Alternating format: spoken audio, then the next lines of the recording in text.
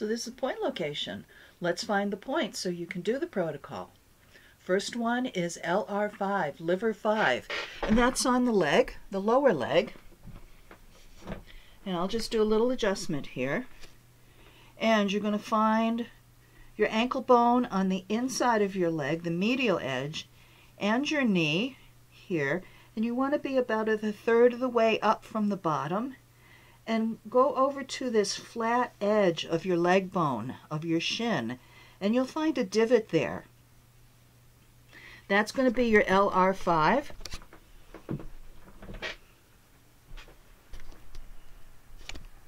And that's the first point you do in the protocol. The next point is con 6, conception 6. And that's on the lower belly, below the waist, below the um, navel. So here's my navel, and you want to be about two or three finger widths below that. You want to be at the prominence of the belly.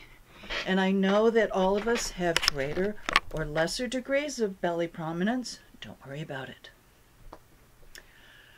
Con 22, front midline, up here at the base of the throat.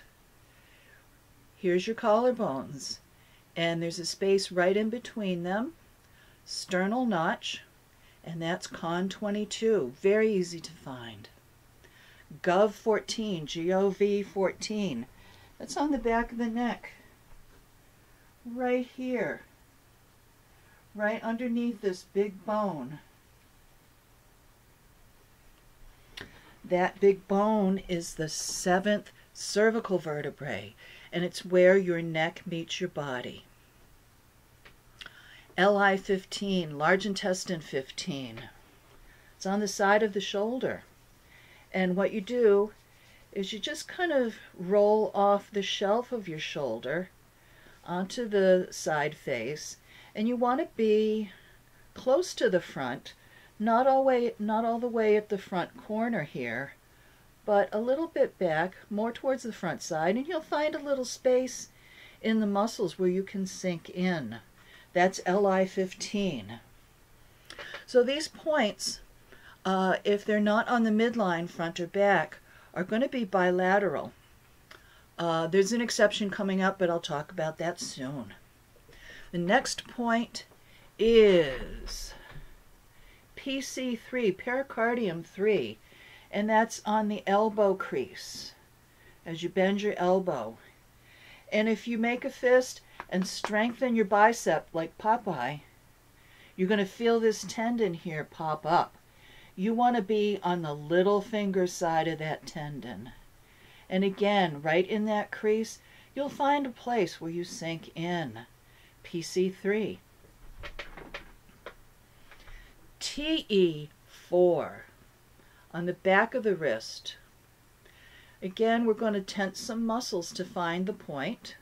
So you're going to strongly flex your fingers back, extend them, with a little tension and let me straighten around here. You'll feel this tendon right here kind of pop out. You want to be on the little finger side for this as well.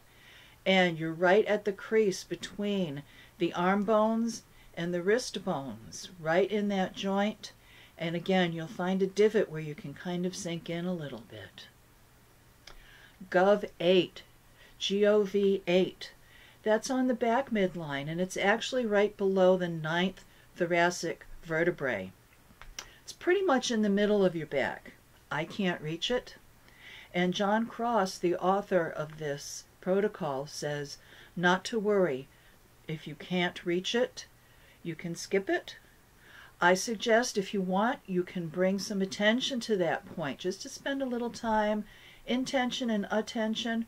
Bring some vitality there to your middle of your back. Spleen 16, SP 16. Now this is the exception. This is a bilateral point, but for this particular protocol, we're only using it on the left. So I'm going to show you it's on the torso. And here's my left side.